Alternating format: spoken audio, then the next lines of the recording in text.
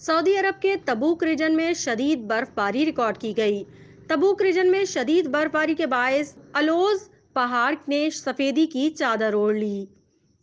बर्फबारी होते ही पहाड़ दिलकश मंजर पेश करने लगा, जिसे देखने और मौसम से लुत्फानंदोज होने के लिए शहरियों और सयाहों की बड़ी तादाद ने इलाके का रुख कर लिया।